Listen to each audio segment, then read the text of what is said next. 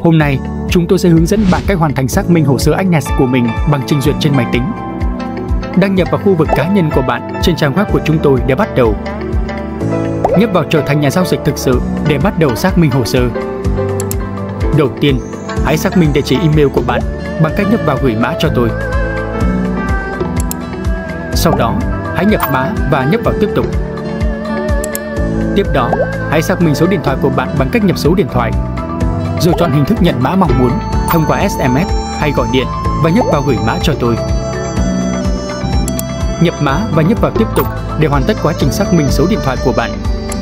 Bây giờ điền tên, họ, ngày sinh và địa chỉ của bạn. Nhấp vào tiếp tục để hoàn tất bước này. Bạn sẽ được chào đón bằng thông báo xác nhận và giờ đây bạn có thể nạp tiền. Bạn có thể nhấp vào nạp tiền ngay để nạp tiền hoặc nhấp vào hoàn tất xác minh để hoàn thành quá trình xác minh hồ sơ.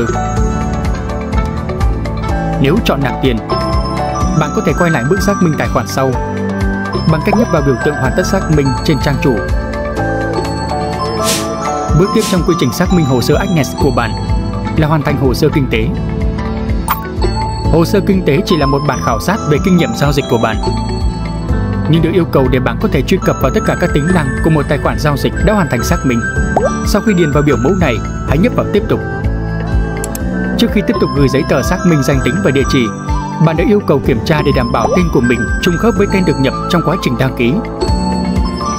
Tên trên tài khoản cần trùng khớp với tên trên các giấy tờ được gửi này và với tên trên bất kỳ tài khoản thanh toán nào được sử dụng cho các giao dịch nạp và rút tiền trong tương lai thực hiện các chỉnh sửa cần thiết và nhấp vào tải giấy tờ lên.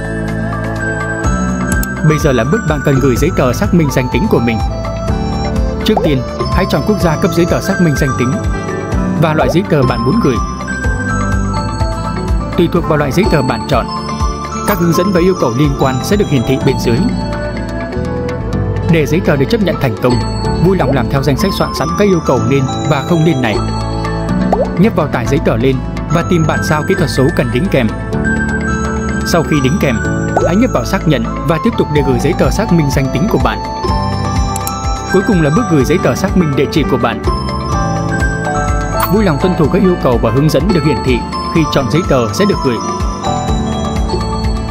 Nhấp vào tải lên giấy tờ xác minh địa chỉ, rồi gửi giấy tờ để xác minh.